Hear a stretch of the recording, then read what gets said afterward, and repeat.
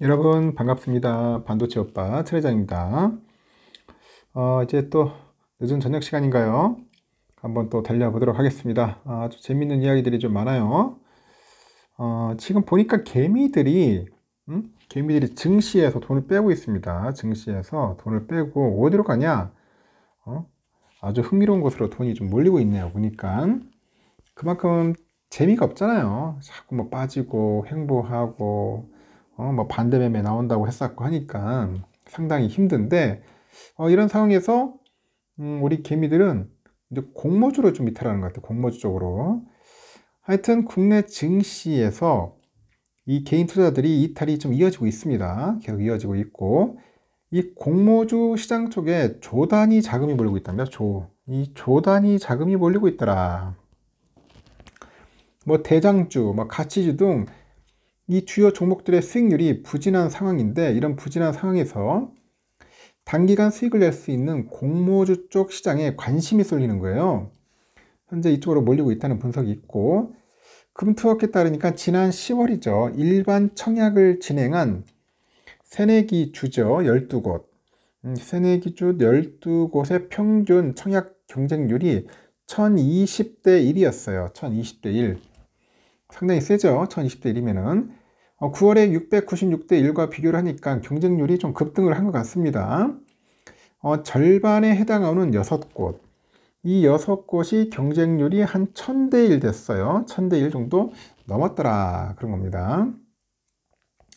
가장 높은 경쟁률을 기록한 곳이 어디냐 봤더니 신성 ST네, 신성 ST. 어, 청약 경쟁률이 1891대 1이야. 어, 1891대 1. 음? 제가 볼 때는 이게 참 작은 건 아닙니다. 그리고 12조 3천억 정도의 증거금이 또 몰린 거예요. 어, 신성 ST는 2004년에 설립된 2차전지 그 전장 부품 전문 기업이에요. 음? 전장 부품 전문 기업인데 어, 전기차하고 에너지 저장 장치, 그 배터리 그 핵심 부품을 제조하는 그런 회사라고 보시면 됩니다. 음, 신성 ST. 이 공정 환경의 그 제어 장비 전문 기업 워트라는 게 있는데 이 워트가 1781대 어, 1의 경쟁률로 뒤를 좀 이었어요. 이 워트의 그 증거금을 보니까 총 5조 7,908억 정도인데 이 밖에 퀄리타스 반도체 1632대 1, 유진 테크놀로지 1506대 1, 퓨릿 1415대 1 등등 해서 한 1000대 1 정도 음, 훌쩍 뛰어넘는 경쟁률을 보였답니다. 1000대 1. 어, 국내 증시의 부진이 이어지다 보니 단기간 수익을 낼 수 있는 공모주 시장에 현재 자금이 몰리고 있다. 그런 설명이 있습니다. 자금이 몰리고 있다. 어, 상장장을 곧바로 매도하는 단타로 접근했을 경우에 어, 높은 수익률을 낼 수 있다는 그런 인식이 크게 작용을 한 거죠. 어, 실제로 지난달 증시에 입성한 새내기주의 상장 당일 어, 수익률을 보니까 44.33%, 44.33% 정도 되네요.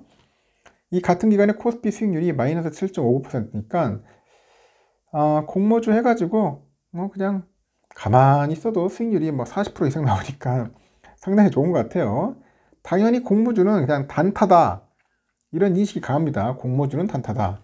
누가 공모주를 가지고 장기 투자하겠습니까? 단기 단타 치고 나오는 거죠. 수익 차익, 수익이나 차익 실현하고 수익 내고 하여튼 최근에 그 주식시장의 조정이 좀 이어지다 보니까 투자자들이 이제 수익을 내기 어려운 상황이 현재 발생하고 있는 거예요. 벌어지고 있고, 어, 이로 인해서 수익 기회가 더 많은 것으로 여겨지는 이 공모주 시장으로 몰리고 있다. 그렇게 보는 것 같습니다. 어, 이어서 과거의 공모주 시장을 볼 때 상장 첫날 가격이 상승하는 경우가 많아가지고, 어, 단타를 통해 가지고 음, 단기간에 높은 수익률을 가져갈 수 있다는 그런 인식이 확대된 점 이것도 영향을 좀 미친 것 같습니다. 음? 단기간에 높은 수익을 가져갈 수 있었다. 이게 영향을 좀 미쳤다는 것 같아요. 어, 이 같은 흐름을, 흐름에 이제 상장을 앞둔 기업들도 공모 일정을 서두르고 있는 것 같아요.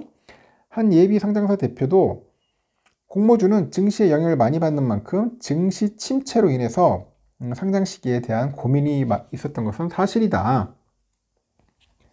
그럼에도 공모주 시장에 자금이 몰리고 있어서 시기를, 이 시기를 늦추기보다는 빠르게 상장하는 편이 좋다는 그런 판단이 있다는 겁니다. 음? 공모.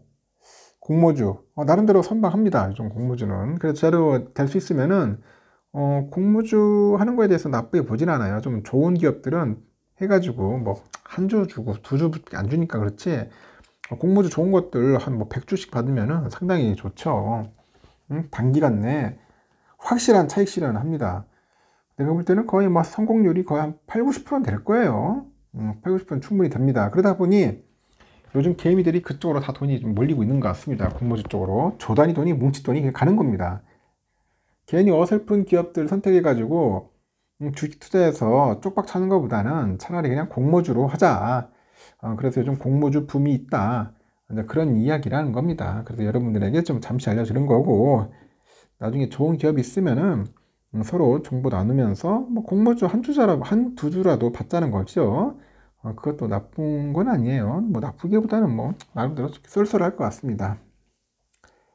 어, 그리고 지난달 국내 증시가 하락세를 또 이어가다 보니까 이 빚내 가지고 투자하는 신용 거래가 좀 줄었어요. 증권사가 신용 거래를 줄이고요. 이 반대 매매가 늘어나는 영역이 정입니다. 반대 매매. 어, 금투협에 따르니까 지난달 31일 기준 신용거래 융자 잔고 금액을 보니 16조 9,704억이에요. 한 달 전과 비교를 해보니까 2조 한 7,324억 정도 어, 감소를 했고 올해 신용거래 잔액이 가장 많이 많았던 지난 9월 8일이죠. 이때에 비해서 한 3조 한 5,207억 정도 줄어든 수치라고 합니다. 이렇게 신용거래 잔액이 16조 원대로 줄어든 것은 하반기 들어 처음인데 어, 신용거래 잔액은 올해 초에 16조 5천억 원대에서 지난해 시작을 해가지고 2월부터 급증을 해가지고 한 18조에서 19조 원 정도 규모를 유지하다가 어, 8월 들어서는 20조 원대를 한번 찍어요. 어, 지난달 31일 코스닥 시장의 신용거래 그 잔액은 올해 최저치를 기록을 했다고 합니다. 이렇게 신용거래 잔액은 투자자가 증권사로부터 돈을 빌려서 어, 주식을 사가지고 아직 갚지 않는 금액이라고 합니다. 그래서 신용거래 잔액이 감소하는 것은 그 강세장에 대한 투자자의 기대가 줄고 있다는 그런 의미로 음, 해석될 수가 있죠. 어, 국내 증시 하락세가 이제 커지다 보니까 이제 신용거래 잔액도 이제 빠르게 감소했다는 그런 분석도 있어요. 어, 영풍 제지 사태 등 그 미수거래를 활용을 해가지고 주가 조작 사태가 또다시 터지다 보니까 어, 투자 심리가 좀 위축이 됐습니다. 어, 이로 인해서 증권사들이 신용거래 증, 그 증거금리를 좀 올려가지고요. 어, 신용거래 제한 종목을 늘리는 등 그 리스크 관리에 나선 것도 음, 신용거래가 위축된 요인이라고 하는 거죠. 어, 전문가들은 신용거래 잔액이 감소하면 주식장의 하방 변동성이 줄을 것으로 분석을 하고 있고 어, 신용거래 잔액 물량이 반대 매매로 쏟아지다 보니 어, 증시 낙폭을 키운 그런 전례가 많다 그런 이야기를 하는 것 같습니다. 어, 그래서 신용거래가 감소하면서 개미들, 그 개인 투자들의 수급 이슈가 어, 증시로 하락할 가능성은 낮아졌다고 하네요. 그래서 이달 증시는 실적주를 중심으로 해가지고 어, 상승세를 기대해 볼 수 있다고 언급을 하는 것 같습니다. 어, 하여튼 참고하십시오. 여러분 참고하시고 될 수 있으면 비투는 하지 않았으면 좋겠습니다. 여기까지.